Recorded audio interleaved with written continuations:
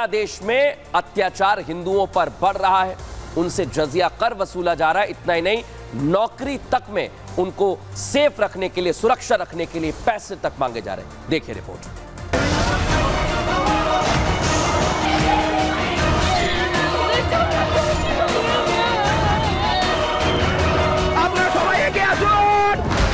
बांग्लादेश में शेख हसीना के तख्ता पलट के बाद एक बार जो हालात बिगड़े।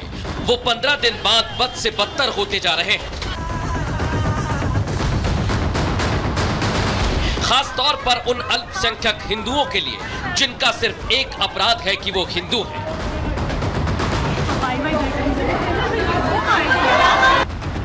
बांग्लादेश में शेख हसीना के विरोध के साथ शुरू हुआ प्रदर्शन। कब हिंदुओं और उनकी धार्मिक आस्था के विरोध में बदल गया, ये पता ही नहीं चला। और देखते ही देखते पूरे बांग्लादेश में हिंदुओं को चुन चुन कर निशाना बनाया जाने लगा। हालात ऐसे बिगड़े कि बांग्लादेश की राजधानी ढाका में भी कई मंदिरों और हिंदुओं के घरों पर हमले हुए, आगजनी और तोड़फोड़ हुई। तख्ता पलट के बाद से बांग्लादेश में जिन हिंदुओं को धर्म के नाम पर मारा जा रहा है, कट्टरपंथी अब उन्हीं से उगाही कर रहे हैं। उनसे औरंगज़ेब की तरह जजिया टैक्स वसूला जा रहा है। बांग्लादेश में बचे हुए हिंदुओं से अब कट्टरपंथी जमात प्रोटेक्शन मनी मांग रही है, फिरौती मांग रही है। हिंदुओं से उनकी ज़मीन, मकान और दुकानों को ना जलाने के लिए पैसा मांगा जा रहा है। इसके लिए कट्टरपंथियों ने बाकायदा रेट तय कर दिए हैं। संदेश दे दिया है कि अगर अपनी ज़मीन बचानी है तो पाँच लाख टका दो, वरना ज़िंदगी भी जाएगी और ज़मीन भी। लेकिन अब कट्टरपंथियों की नज़र इतने से नहीं भरी तो कट्टरपंथियों की नज़र उनकी सरकारी नौकरियों पर आ गई, जिसके तहत वहाँ के हिंदू समाज के कर्मचारियों से जबरन इस्तीफा लिया जा रहा है। इन घटनाओं ने अल्पसंख्यकों के माथे पर फ़िक्र की लकीर को और भी ज़्यादा गहरा कर दिया है। मामले की गंभीरता इस बात से समझी जा सकती है कि खुद पीएम नरेंद्र मोदी लाल किले की प्राचीर से बांग्लादेश में हिंदुओं के हालात पर चिंता ज़ाहिर कर चुके हैं। बांग्लादेश में जो कुछ भी हुआ है, उसको लेकर पड़ोसी देश के नाते चिंता होना, मैं इसको समझ सकता हूँ। मैं आशा करता हूँ कि वहाँ पर हालात जल्द ही सामान्य होंगे। खास करके 140 करोड़ देशवासियों की चिंता कि वहाँ हिंदू, वहाँ के अल्पसंख्यक, उस समुदाय की सुरक्षा सुनिश्चित हो। पड़ोसी मुल्क में रह रहे हिंदू और बाकी अल्पसंख्यकों की सुरक्षा को लेकर चिंता बढ़ गई। संकट सिर्फ़ इतना नहीं, जो दिख रहा है, समस्या उससे भी बहुत बड़ी और ज़्यादा है। यही वजह है कि भारत ही नहीं, बल्कि हर वो देश इस स्थिति पर चिंतित है, जो अल्पसंख्यकों के हितधारक है। Bureau report, Republic Bharat. देख लिया दर्शकों आपने क्या हो रहा है बांग्लादेश। में और इसलिए कैलाश विजयवर्गीय कह रहे हैं इन्हीं हालातों की वजह से कि भारत में भी तीस साल बाद गृह युद्ध होगा। लेकिन बांग्लादेश में क्या हो रहा है हिंदुओं के साथ, ये भी जान लीजिए। हिंदुओं पर अत्याचार जारी है, रुका नहीं है। हिंदुओं की नौकरी पर अब संकट मंडरा रहा है, सोचिए जरा। हिंदुओं की सरकारी नौकरी पर कट्टरपंथियों की नज़र है। निशाने पर है सरकारी दफ्तर, कॉलेज, जहाँ पर हिंदू हैं। हिंदुओं से जबरन लिया जा रहा है इस्तीफा। सोचिए जरा आप। और इस्तीफा नहीं दे रहे तो उन्हें तड़पाया जा रहा है, मजबूर किया जा रहा है कि इस्तीफा देना होगा। सोच लीजिए दर्शकों पहले अत्याचार घर को जलाया, मंदिर तोड़े और अब जहाँ नौकरी करते थे, वो भी हिंदुओं से छीनी जा रही है। इसको लेकर भी कई बयान भारत से सामने आए सुनवाते हैं आपको क्या कुछ कहा जा रहा है।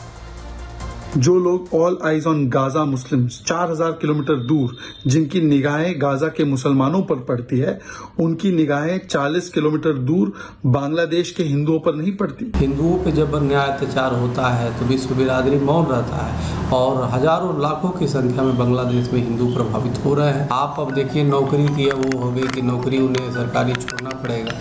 तो ये तो बहुत ही अन्याय है। किसी भी मुल्क में कोई अगर अल्पसंख्यक है माइनॉरिटी में है तो उसको मेजॉरिटी वाले को चाहिए उसकी रक्षा करे। मैं ये समझता हूँ कि जो वहाँ के इस वक्त हुकूमत के इंचार्ज बनाए गए हैं, यूनुस साहब को बाकायदा एक कई टीमें गठित करके उनके ऊपर सख्त कार्रवाई होना चाहिए। देख लिया दर्शकों आपने, लेकिन गृह मंत्री अमित शाह की भी चिंता ज़ाहिर हो चुकी है इस मसले पर क्योंकि कैलाश विजयवर्गीय ने गृह युद्ध की भविष्यवाणी की। बांग्लादेश में सरकारी नौकरी करने वाले हिंदुओं से जबरन इस्तीफा लिया इस बीच गृह मंत्री अमित शाह ने, सुन लीजिए आपको बता रहा हूँ, एक बयान दिया है उन्होंने। गृह मंत्री अमित शाह ने बांग्लादेश में कम हो रही हिंदू आबादी को लेकर सवाल खड़े किए। बांग्लादेश में लगातार कम होते हिंदुओं के पीछे उन्होंने धर्मांतरण एक बड़ा कारण बताया है। लेकिन साफ़ और क्लियर मैसेज भी दिया है गृह मंत्री अमित शाह ने। क्या मैसेज दिया? मोदी सरकार के राज में कोई भी हिंदू हो, उसे न्याय ज़रूर मिलेगा। यानी बांग्लादेश में अत्याचार हो रहा है, लेकिन ऐसा अत्याचार नहीं होना चाहिए। क्या कहा उन्होंने? सुनिए जरा। जो विभाजन हुआ तब बांग्लादेश में 27 प्रतिशत हिंदू था। 27 प्रतिशत। आज 9 प्रतिशत है। कहा गया? जबरन धर्म परिवर्तन कराया गया है। या तो वो यहाँ आए, शरण में आए। या धर्म परिवर्तन कर, क्या उनको अपनी इच्छा के अनुसार, अपने धर्मों में जीने का अधिकार नहीं है क्या? अगर पड़ोस के देश में अपने समान के साथ जी नहीं सकते, हमारी शरण लेकर आते हैं तो हम क्या करेंगे?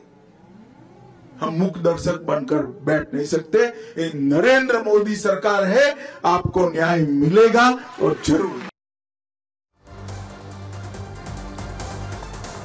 तो देख लिया दर्शक अब खबरों में आगे बढ़ेंगे और आपको लेकर चल रहा हूँ उत्तर प्रदेश, जहाँ हिंदू नर्स से दरिंदगी की है। और ये जो शख्स बैठा हुआ है यहाँ पर, यही है जिसने दरिंदगी की है दर्शक। लेकिन अब मैं आपको बता रहा हूँ कि योगी आदित्यनाथ ने क्या एक्शन लिया है। सुन लीजिए, जैसे ही यह घटना सामने आई है, आप समझ लीजिए कि अस्पताल में एक नर्स काम कर रही थी, लेकिन वहाँ काम करने वाला उसका ही साथी एक मुस्लिम था। और उसने रेप की वारदात को अंजाम दिया। इतना ही नहीं दर्शकों अस्पताल में डॉक्टर रहता है, उसका हेल्प करने के लिए वार्ड बॉय रहते हैं, मेल नर्स रहते हैं और इस रेप कांड में मेल नर्स तक उस डॉक्टर की मदद कर रहे थे। सोचिए जरा एक नर्स जो वहाँ पर काम करने गई थी, उसके लिए डॉक्टर ही हैवान बन गया। कैसे इस हैवानियत को अंजाम दिया गया है और क्या एक्शन उन पर लिया गया है, वो इस रिपोर्ट में आपको दिखा रहा हूँ, दर्शकों।